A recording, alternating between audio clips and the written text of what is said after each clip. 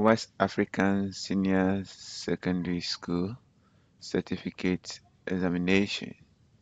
We have the Further Mathematics 2024 paper here. We are going to look at paper 2, this time question number 4. So what is question number 4 saying? Question number 4 is on trigonometry. We have to solve 8 cos square x plus 2 cos x minus 1 is equal to 0 for 90 degrees to 270 degrees. So that is in the from the second to the third quadrant. Okay, so let's see. We are solving. So we have 8 cos square x plus 2 cos x minus 1 equals 0. We can rewrite it so that we can do substitution for cos x. So when we let m equal cos x, wherever we see cos x here, we put m there.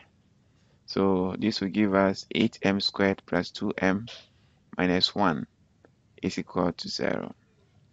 So this is a quadratic equation in m. And we can factorize this by splitting the, the, the, middle, the middle term. So when you multiply this by this, you get negative 8. Now the factors of negative 8 that will add up to 2 are 4 and negative 2. That's why we are using it to split the middle term. And the next thing is we factor. So when we factor, we are getting the highest common factor to be 4m. Then we are obtaining 2m plus 1 minus 2m plus 1 times 1.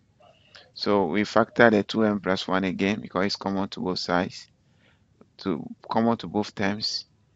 So we have 2m plus 1 into 4m minus 1 equals 0. So either both factors, either of the factors are must be equal to 0. So we have m to be equal to negative 1 over 2 or 1 over 4. Now we are in the second to third quadrant.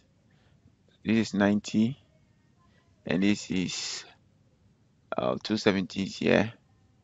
So we are looking for the one that is satisfying these regions, these two regions.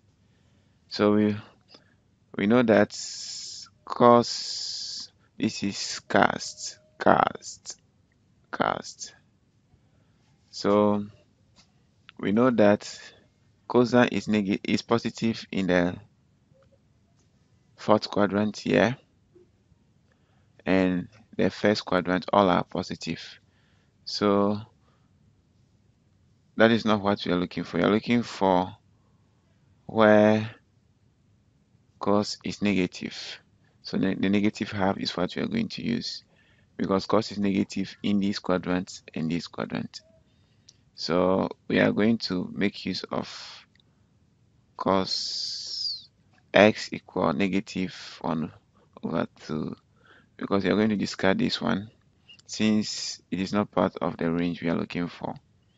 So x will be equal to 180 plus cos inverse of half. Half is the principal value. So the principal angle will be cos inverse of half. That is the acute angle. Then we'll take it to the second quadrant, which is uh, we take it to the third quadrant, which is 180 plus the principal angle. So that is the third quadrant here.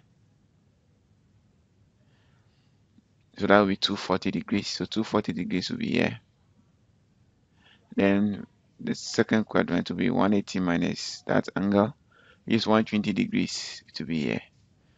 So hence the values of x are 120 degrees and 240 degrees.